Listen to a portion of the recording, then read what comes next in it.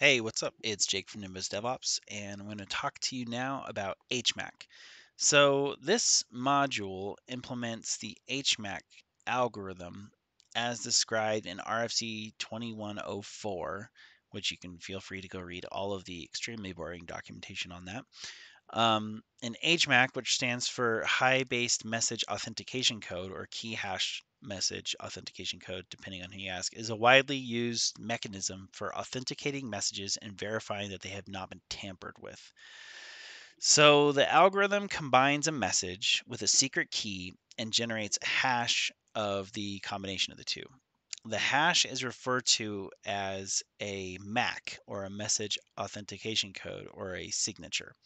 The signature is stored or transmitted along with the message. At a later time, you can verify the message hasn't been tampered with by recomputing the signature using the same secret key and comparing it to the previously computed signature. So the secret key must be carefully protected. Um, otherwise, an attacker with access to the key could be able to modify a message and replace the signature, completely defeating the authentication mechanism. So what does that look like? Well, let's make a little script and we'll see what that looks like. So I'm going to make a hmc.py and we're going to import hmac and we're going to import hashlib and that's all you'll need.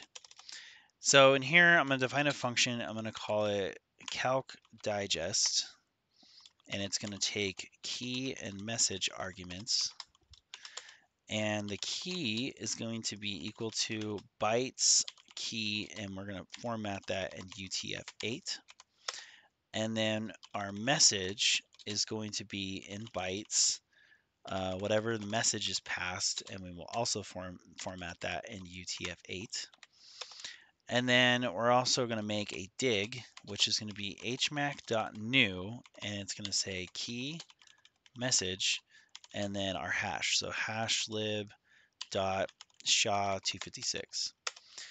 Then all we will do is we will return the hexa, uh, hexadecimal digest, so hex digest of our dig. Okay. Then I can just create a variable called mac, call calc digest, and pass a secret key and then we need a message, right? So in our message will be some kind of important message that we want encrypted. All right, so the hmac.new function takes a secret key and a message and a hash algorithm to use and returns an hmac object. It has a similar interface to the hash objects from hashlib. The key must be a bytes or byte array object, and the message can be any bytes like object.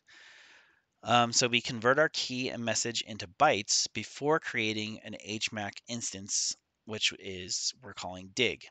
So we'll use this to get a hexadecimal representation of the hash, and you'll see a little bit more about how HMAC signatures can be used later um, when we start talking about uh, Java Web Tokens uh, or JSON Web Tokens.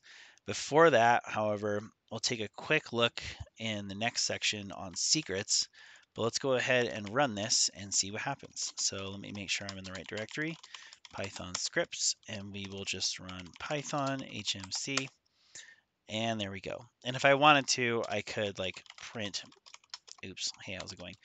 Print Mac so you can see it. And there we go. So it's just that simple. So that is uh, everything you know to get started with HMAC.